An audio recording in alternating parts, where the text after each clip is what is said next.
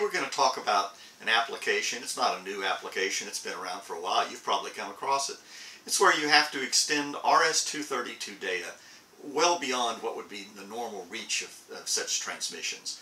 For example, maybe you're in a West Virginia coal mine and you're trying to get signaling out of the bottom of that mine.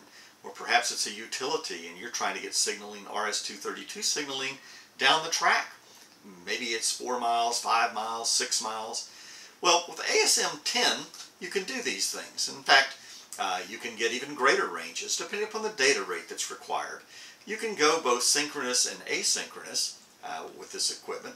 But if you have a weather station, for example, a weather station at a mountaintop where your instruments, you have a wind meter or anemometer that is measuring the wind speed and it's sending data back. It's a low speed serial connection.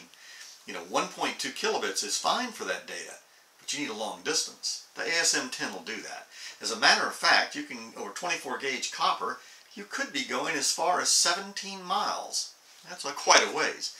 In the West Virginia coal mine, you might need a higher data rate. You might have more information coming across that, but your distances won't be as great. They're likely that they won't be 17 miles. Utility, it could be either way. It really just depends on the application.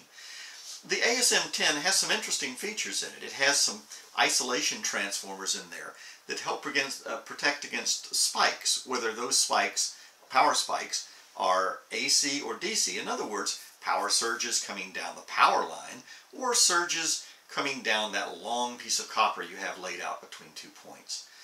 Another problem you have with something, when you have two units that are that far apart, you need to be able to do testing to establish that the loop is still working and that the other unit is still there. If you're on that, uh, in the case of the weather station we mentioned, if you have a monitoring device on a mountaintop and you're not getting signaling, you want to know that the ASM10 is still performing or if it's lost power. You want to know that. Well, you, the ASM10 has built-in features to allow you to determine that it is working properly. We'll take a closer look at one in just a moment, but if you need to extend uh, RS-232 data, this is a good way to do it. Here we have the front of the ASM10. As you can see, there's several LED indicators across the front. Uh, there's a power indicator, a request to send, transmit data, receive data, a data carrier detect, a test light, and then a little further over we have three buttons. Uh, these three buttons are for testing purposes. The first one is a digital loopback test. The second one is an analog loopback test, and the last one is for a remote loopback test. Okay, here we have the back of the ASM10. As you can see, you have a power connection here. In this case, it's 115 volts. It's also available as 230.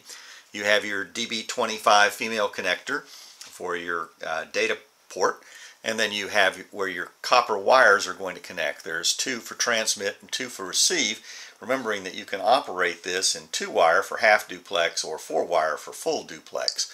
And then of course you have a ground, uh, a ground connector as well. Okay, well, now you know a little bit about an ASM10. You've taken a look at one. You know, if you have an application where you need to extend your serial data, uh, give us a call. Let's talk about it. Let's talk about whether the ASM10 is right for you.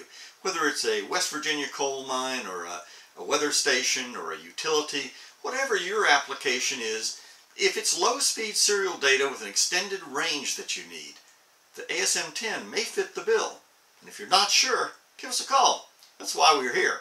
Here at Cutter Networks, we supply you not only with the products, but we supply you with answers and solutions. Look forward to speaking with you. You have a wonderful day.